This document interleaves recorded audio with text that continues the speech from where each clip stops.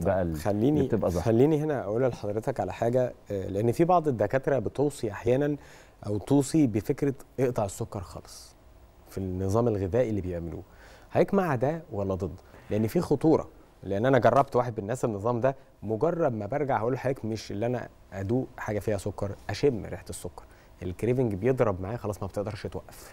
فكرة القطع مرة واحدة دي من الحاجات الصعبة جدا في, في كل ال- ال- ال- المشاكل الصحية اللي تخص التغذية اقطع مرة واحدة دي صعبة محتاجة إرادة قوية جدا وشخص يتحمل ال ال ال الشيفت اللي حصل في الجسم أو التغير اللي حصل في الجسم. لأن أنت بتخش بقى في مشاكل اكتئاب و بسبب قطع السكر ودي بتاخد مرحلة ده ادمان بجد يعني. ده حقيقي بيوصل. لأسبوع وأكتر من أسبوع فأنت متطلب إن أنت تقدر تستحمل المدة الزمنية دي وده بيبقى صعب فأنت ما بتوصلش. للأسبوع 10 أيام بتضطر ترجع بنفس الشراسة ويمكن أكتر برجع. ازيد أيوه طيب. بالظبط.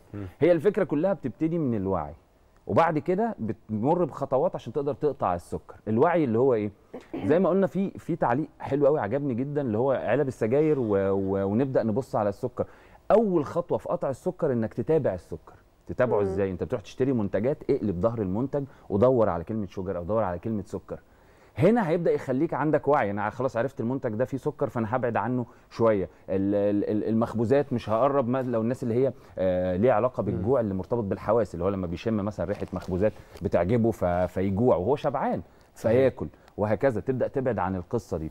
قطع السكر بيجي تدريجي. يعني أنت لو هتيجي مثلا أنت شخص بيتعامل مثلا مع خمس معالق سكر. مم. تمام؟ هي دي أول خطوة إنك تقطع السكر المباشر السكر الأبيض. لو بياخد خمس معالق سكر فأنت عندك الخمس معالق سكر عشان تقطعهم عايز لك مثلا شهر ونص شهرين عشان يحصل قطع.